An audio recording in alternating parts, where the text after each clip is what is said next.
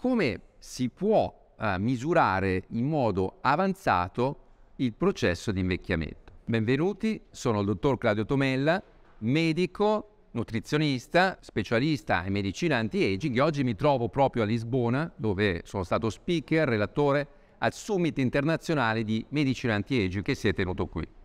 E oggi rispondo a questa interessante domanda.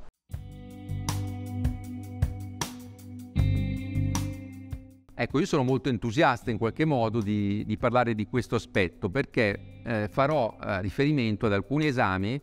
che, eh, diciamo così, studiano delle vie metaboliche che fino a pochi anni fa io studiavo sui libri quando venivo a questi congressi come questi e per me erano qualcosa di assolutamente, non dico teorico, ma un qualcosa che erano test che venivano fatti nelle università quasi sempre straniere, magari da italiani, ma in università straniere, un qualcosa di assolutamente sperimentale,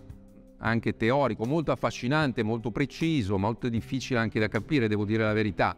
Però era un qualcosa che era di, distaccato dalla pratica clinica. Ecco, ci tengo a sottolineare il fatto che è vero, io vengo in questi congressi dove faccio relatore, però sono un medico anti-aging che eh, cerca di affiancare questa parte di studio, di ricerca, a quella clinica di lavoro sui pazienti. Quindi per me è importante avere in mano la situazione da tutti e due i punti di vista. Ecco cosa vi voglio dire che adesso per esempio è possibile applicare nella pratica clinica nell'ambito di un percorso anti-aging anche lo studio di alcuni processi di invecchiamento, aree del processo di invecchiamento che fino a poco tempo fa appunto non venivano studiate ma sono importanti, come per esempio valutare il, qual è il livello di NRF2, una uh, via metabolica protettiva, quindi buona nel processo di invecchiamento, che evidenzia un buon livello di difese eh, antiossidanti, quindi la tendenza ad avere buone difese antiossidanti. Può essere studiato per quanto riguarda lo stress ossidativo mitocondriale, questo in realtà da più tempo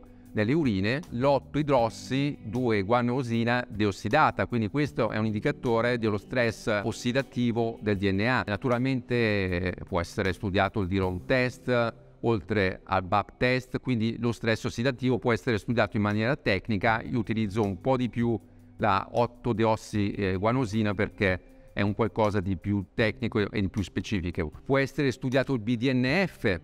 assolutamente importante sia a livello genetico ma anche a livello fenotipico, PDNF che è un'azione protettiva sul cervello e quindi è utile sapere questo nell'ambito di uh, un approccio a 360 gradi sulla healthy aging. Può essere studiato il Clotho che è un peptide che si associa a, una, a un invecchiamento uh, favorevole sia a livello renale ma si è visto anche a livello complessivo. E inoltre si sta mettendo in piedi uno studio anche per studiare il FOXO che abbiamo visto è una, un'altra via assolutamente protettiva importante per quanto riguarda l'invecchiamento cellulare, il sistema immunitario e la protezione dei tumori. Questo per dire che studiando com'è nell'ambito di un percorso anti-age, come sono questi valori, si riesce a individuare eh, una terapia di precisione e a sapere in modo oggettivo come sta andando il proprio processo di invecchiamento. Quindi questi test non vanno oltre, non si sostituiscono agli altri, quindi è sempre importante magari fare uno studio del livello dei teromeri,